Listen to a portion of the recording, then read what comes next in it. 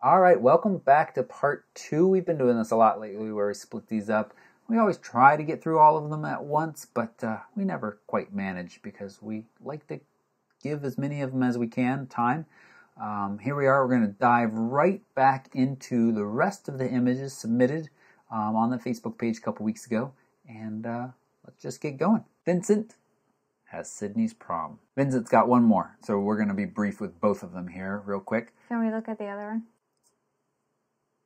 Okay. Well, so I, I like that you sort of stayed out of the shade. That's a good thing to do. Or stayed out of the sun, I mean. That's a good thing to do. Nice open shade in their faces. Uh, watch the blown out areas. Just either underexpose and then bring it back later in post, or just move them to a spot where there is no sun hitting them. You know, as simple as that. There's a stick coming out, which is a little bit distracting, so I may have Lamp pole. a post. Yeah, um, I may have moved them like even like even closer to here, but it's not a huge deal. Um, yeah, and then for the other picture, my advice would be white balance, white balance, white balance, and I might just either like crop in a teeny bit because this purple thing really stands out, I think, and you know, um, and then warm it up a little bit. But really nice light. This is Uh, a really great shot. I uh, these girls were really happy with that. Yeah, that was my first thought on both of these images. Is exposure on their faces is wonderful. Yeah. Uh, and this one, I think you could also have just rotated. You could have uh, moved just a step to the left uh, and lost the intersection with her head, Sydney's friend in the tree. Also cut the purple person off at the same time. Um, and I think still would have um, captured the same nice image. So it's good. Thank you, Vincent. And I bet Sydney and her friends were happy. And we got one from Vera. I'm curious what the light source was here. What, looking down at an iPad, it feels more natural than that, though. It feels like there may be some nice window light, but it does seem kind of that it's coming from below. I think it's bounced window light. Okay. Christina thinks it's bounced window light. I think the lighting here is really nice. This is another one where I'm going to say if you'd shifted a little bit to the left. Now, Christina, you've talked before about this kind of intersecting point here. Yeah. And what's the rule with that? Remind us. So that's something I don't I don't follow it all the time, but it is always when I'm shooting. It's in the back of my mind to try to not get novices to intersect with the opposite cheek of where you, of your subject's face. Um, so ideally, you should have the nose inside the opposite cheek and leave enough room so that it doesn't intersect and it doesn't touch. Um, that is like one of the traditional rules of portraiture that you should follow. So I don't follow this all the time. If it's a particularly strong picture, I will still include it. That goes for any of the quote unquote rules that um, you know have been set by people over the years and in history or whatever. But um, yeah, but just keep that in the back of your head. Think about it whenever you're taking a portrait. Try to get a little bit more of their face. Um, and the other, uh, the other rule, I guess I should touch on it, is for for faces when you're photographing people creating portraits, is that um, you should always be able to see the other side of their uh, the whites of their eyes. You should never see just one side of the white of their eyes because that just looks a little bit funny. A little Do we bit see weird. any white of no, eyes here? No, no, no. Okay. I just it came into my mind and I figured I would include it Gotcha, along with the nose one because I feel like it's one of those funny rules. But yeah, that is one of the things. Those those two things are things that you would totally get um, points deducted if you had submitted to a PPA competition and that you were being judged by Okay. By people. Um, so I brought you in to say about that rule, but how do, how do you feel about this image in general? I think it conveys the idea of a private moment pretty nicely. But I, I worry that there's not enough separation in the background, in the back of his head. And and that I feel like this could have been used as rim light and it's just kind of a distracting element. You know, like I, my eye keeps going, this is the brightest spot in the picture, and so my eye naturally goes to the brightest spot in the picture. So I would probably try to reframe um, maybe put that behind him in such a way that it highlights his hair. Um, but it, it does convey the idea of an of a nice private moment. So Thank you, Vera. Rick has a busy marina. I think this falls into the category of kind of a uh, you know a snapshot picture. Um, there are some neat elements to this, though. I really like the repeating lines of these little power boxes all the way down, and you know, almost very white. Everything is white, white, white. We get little bits of color here and there, but um, those things I think make it a strong image. I think this could image could benefit from getting down lower and really letting this dock stretch off into the distance um, and looking between the bows of these boats more. no, I like that perspective. I think it's fine, and um, it's not symmetrical enough to me. It looks like it's wanting to be symmetrical, but it's not quite. It's just kind of leaning to the left a little bit, and it's just. I think it's too busy for me. Like that, I feel like that boardwalk is not, or that dock is not, an interesting enough thing to be a main focal point, and that's what is the main focal point. Thanks, Rick. Robert's got a little boy spitting water. All right, Robert, first thing I would do is um, crop in. Now, you were shooting with the 55 to 250 at 55. Go ahead and zoom, or you could, you know, after you've taken the picture, crop. But before, zoom in. The little boy spitting the water is the focus. Fill the frame with him. That would get rid of this distracting bits here and here, and it would also soften this white building here that's kind of intersecting with his head. Um, but that all said, this is really cool, and that's really fun capture there. One eight hundredth of a second did a really nice job of capturing that moment of him spitting that water out. Um, yeah, I like that. Anything to add? Yeah, it's nice that you've got him in the shade, and he's in in pretty nice light. I would warm this picture up though too. Yeah, and you mean by white balance? Yeah. Thanks, Robert. All right, Robert. So we already got one of yours. So just real quick, I'm going to say this is a good spot to, I think, really talk about focusing in on a subject. Just capture one of these rhododendron blooms. Um, these other ones aren't adding anything, and we got this dead stick right here. So really focus in. But I like your aperture here, and um, the back, the softness of the background and the speckled light is really nice, and the exposure here is really good. But just do one. It looks like it may have filled in with flash. Is that right? No, it says No, flash. so did not fire. I think we just have some really nice light coming in from the side of the shade. Hmm. Thanks, Robert. Digital Canvas 72. I know you have two as well, and I, the next image we're going to look at is a stronger one. Um, so we'll say just about this one. It's, it's a nice photo. It's hard. It's another one of those ones where I feel a little bit like it's a beautiful spot, um, but what is the subject? Uh, you know, and I think sometimes beginners' answers, and my answer would be many times, well, it's this beautiful spot. Um, but we need we need a little bit more something more to have some impact. We just got some little bit of grass here. We got a little bit tree branches sticking in. We have this interesting clump of phragmites over there. And we have this nice long line with some pretty colors in it. Um, but I also just say you're kind of testing out this P340 Nikon. Um, it's interesting to see a little noise in the water there. Um, but so this is where I would really pick one thing in the scene and focus on it. Yep, I agree. But then you have this shot, which is gorgeous and beautiful and amazing. Uh, the detail here on this little hummingbird going after these flowers is awesome. And I think it's just, I, have tried to photograph hummingbirds before back in the film camera days, and I wasted a mini a slide. But I love that even at 1 16th hundredth of a second, that the uh, wings here are blurry. Yeah, that's very cool. That's very cool, but not super blurry. I've seen the slightly longer shutter speeds where, um, slightly longer being like one eight hundredth of a second, where the wing, you can tell the wing moved all the way back and forward in a beat. So it's really great. But look at the detail in this shot. Great. Nice Very cool. image.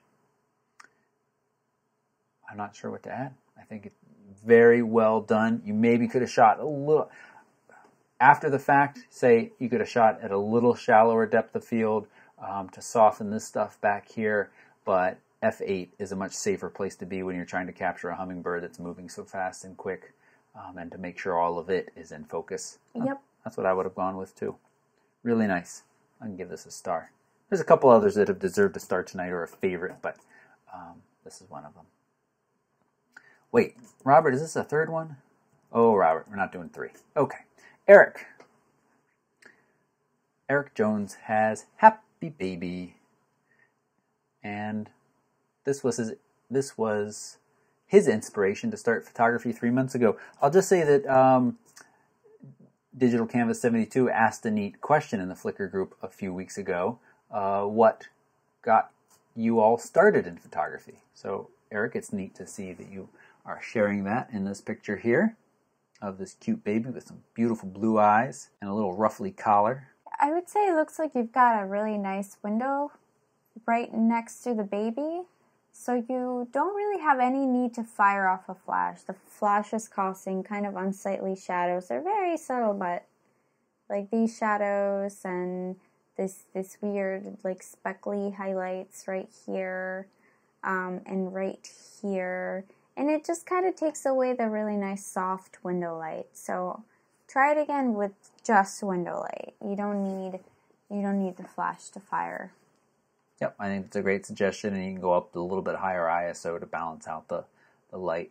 Um, it doesn't look as sharp as it could be. Um, this looks like focus is a little bit sharper right here.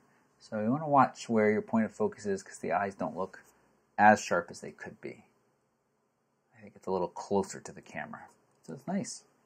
Eric, is this the next? Yes, Eric, another one by you. I saw this as I was going through. This is another, this is a beautiful capture. Yeah. Really nice composition, really nice uh, exposure, detail in these little bits of grass here. Um, yeah, I really like that you turned it into a black and white. Um, we've been seeing lots of flower pictures and color, and I think that while the colors are really nice, it's also really, really cool just to just to just make it a lot more simple and I don't know, I think this is just very elegant and very beautiful. Thanks, Eric. Michael, I think Michael, you have two. Yep. Michael's got two. Um, and this one is uh, oh, Roy saying that nice that they do those in a field. That's true. It's neat that these cars are parked out in the field. Gives it a little bit more life on the grass. Uh, I think you have post processed this a little bit. The colors look a little a little muted, a little blue. I'm going to channel Christina here and say the white balance is off, and I think you chose to do that, but I'm, I'm not crazy about it. I think this could work um, better, be a stronger image with kind of true to life, sharp, bright colors. Um, that's what I think. And the other thing is really minor, and this is something that I don't think I'd noticed till after I took the picture too, is the the angle you took this picture on. We have an intersection here of um, this gas uh, with the light. I'm pretty sure these two things aren't attached to each other, and that's bothering me. um, and another thing is this car back here is bothering me. I think you could have moved to the right a little bit, shot the car from the front, lost that intersection, hidden that car back there, and there may be some other cars further to the left that then would have been captured. But I think that's what I would suggest here. You have also shot at a wider shutter I mean, aperture. Your F10 Oh, right, right here. F10. Which Yep. is just a little too deep, I think. It is, yeah. Uh, F10 at that distance, you probably have just about everything in focus, which you can see all the way back here to those trees in the distance are in a little softer, but just barely. That's a good point. Great. And then this one here, talking about getting in close and getting your detail. You've done that. I think you could get even a little bit closer and lose this space here. Really? No, you're right. I was gonna say back up and don't cut off the tire. Oh, yeah. Yeah, you're right. I agree. And another F10. This is one where I think, again, you could shoot. Um, looks like I think what you did is you put it on aperture priority, put F10, and then walked around and shot a lot of pictures with that. That is a way to get very sharp images from front to back. Um, but with that 40 millimeter lens, you could certainly go to f3.2, f4, and still get very nice sharp images. Thanks, good. Thank you, Michael. Christopher Neumuller. Under the Stars. Now, I love this. Landon says, How did you get a shot with having the stars blur? I'm not going to go into the whole 500 rule, Um, but you can see that there. This is a 30 second exposure. He said it, and then I also saw it right here. 30 seconds. Um, you are starting to get some blurry. Notice these are not points of light, but they are a little bit lines. Over here, they're a little bit more points. It depends on how far you are from that center axis um, of the stars, how much they move. But basically, you're supposed to be able to divide your divide 500 by your focal length to get the maximum number of seconds you can use before you're going to start getting blurry stars. Um, and 30 seconds, 500 divided by 3.5. Sorry, I mean 500 divided by 18 is 27. So you're close, but this is a crop lens. So 18 is not your actual focal length. So it's really 500 divided by whatever 18 times 1.6 is, and that's 17 seconds. So that's a pretty significant difference. It, as I said though, in this image you can see that it hides itself fairly well until you get to these kind of stars out here on the edge. It must be a little bit further from that center point. I have blog post about this. Somebody reminds me I can put a link down below to it. Um, but that all said, I think this is a nice image. This is done under moonlight. You did a little post processing to make the sky look a little darker because I think moon can very easily a lot of bright white light. Um, I think it's a nice shot. Yep, I agree. It's a really cool shot. I don't think I have mu- much more to add. Yeah, I'm trying to think. I don't think I really do um, either. I think this is. I think it's sky and foreground um, are balanced nicely, and the amount of light on that building is good. Good. Thank you, Christopher.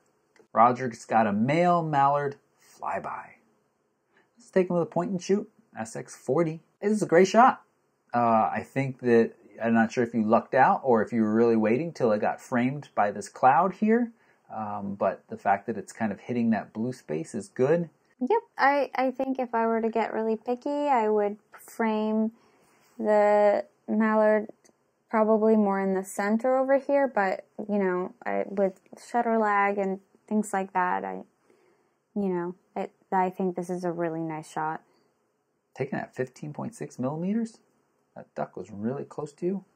Interesting watermark. I I, Oh wow! I didn't really notice it until I looked at it, so I'm going to say I like that softer looking watermark. And then second one from Roger. I think this is um, a good example of the Think Before You Click series that I'm working on. The other one of leading lines. I think you've put this interesting statue head right in the center of the frame, and that doesn't make it as strong as if it was off to the one side with the lines of these bricks leading towards it. I think we could work from either side, uh, mostly the, the right hand side, so that it was still facing towards us a little bit more, would give it a little bit of a stronger image. But otherwise, quite nice. Yep. David's got this one of a fountain in downtown San Diego. Santa Rosa. Santa Rosa. So he came in and during the long exposure of about eight seconds, fired off the flash at full power, and that added the sparkles into the water flow. Hmm. Huh, okay. So I think that's all of this light coming in from here on the left is the flash. And I think that does add to this statue. I think it may be a little flat if both sides were lit the same. So that's good. I think this is nice and it's kind of framed under this tree well. But at f10, that background being so in focus, I can almost read that sign back there and Yeah. it's on bright. Then in the reflections here, that's all really taking away from the subject here. And it, mm-hmm. it, it definitely reduces the impact of this of this image. Yeah, I would say you have up to 1.4. I, you know, even going to like 5 or 4 and maybe getting like a teeny bit closer would have helped a little bit. Yep. Um, now I, I'm going to guess, David, that you, there's a lot of light here. Even though it's nighttime, I think you went to f10 so that you could get that 8 second shutter speed. Uh, so maybe a neutral density filter or come back when it's even darker. Um, if it gets any darker with street lights and things like that around. Or control the, the flash exposure, turn it way, way down. Yep, that would help too. All right, thank you, Ricard. This is cool. I don't know what it is. I think it's a palmetto leaf, or or it's you know it's one of those plant leaves that's kind of fern-like and palm-like. It's not super in focus, but I think it's a cool abstract shot. I would say crop off the top negative space or empty space, dead space, and you've got a pretty solid image. Yep. Bring your highlights down just a little bit if you can. You got a little bit of purple fringing here around those bright areas. Um, but otherwise, I think it's really neat, and I love the abstract and the repetition of it. Thank you. Linda's got some puffball fungi. Did you hear the, about the mushroom that walked into the bar? And he mm-hmm. said, Bartender, can I get a drink? I did hear about that actually. The bartender said, We don't serve your kind around here. The mushroom says, Aw, why I'm a not? Fun guy. I'm a real fun guy. All right. Sorry, Linda. I like the detail here and I like how close you got. This is the 18 to 135. The kit lens can do that nicely. I really like the colors. I think the colors are very. It's just a very. It's kind of a muted color palette, just very pretty neutral. But it feels true to life here. Yeah, it, it does. I might warm it up a little bit. There are some shadows here that are a little bit are a little bit blue, but um, otherwise, it, I just it's really nice. Yeah.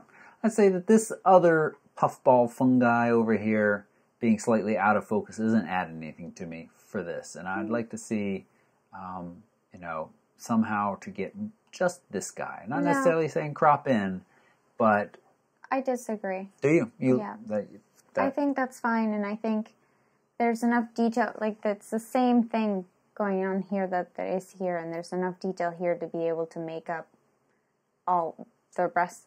You know, the information we need to know what this is. So, I think it would be. I know, maybe if you found a completely different composition, but I just really think the composition is very strong in this image and it works really well. So, if you were to change it, I'm not sure that it would work so well. Okay. Good. Thank you, Linda. And Crystal has Liam. I think you've exposed really nicely, um, and maybe with a little post processing as well, because we have full sun, what seems like full sun on this side of the face, and some pretty serious shade over here. But um, you've done a nice job of not blowing out um, and not losing any details in the shadows, and so that's nice. I love this. I love this. I love his hair. Um, it's really sweet, uh, and it's a nice, nice photo. The way he's kind of coming around and framed between these two pieces right here. I think this could be stronger as a portrait, yes.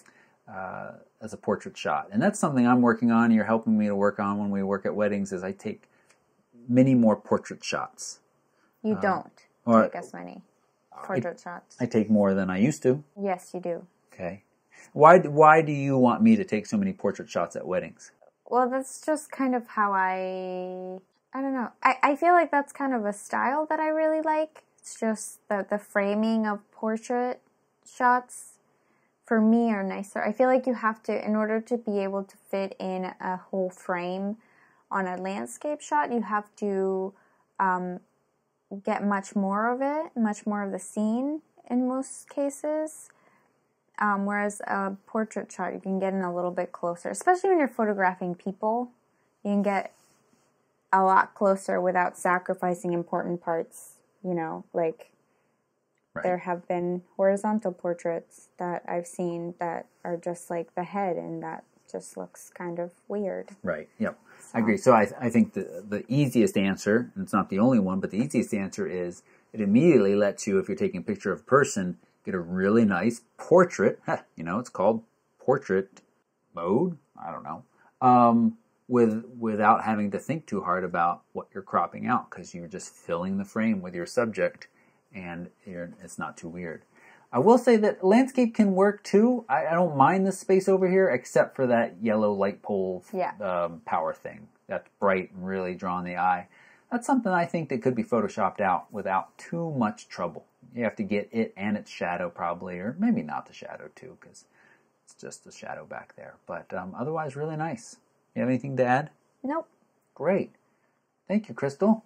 All right, and that is the last of the images from that group that got posted on Facebook a few weeks ago. Now, remember, you all have the assignment. Our next critique will be looking for those dual images big scene, focused in. We had those ones from right there. Terry, big scene, focused in. Use this as inspiration for going and finding your big scene and then focus in on a smaller subject for it. Uh, as always, we love that you submit your images to be critiqued. I know it's not always easy. Thanks so much. Keep on taking those photos. We'll keep on critiquing them. Bye bye. Bye bye.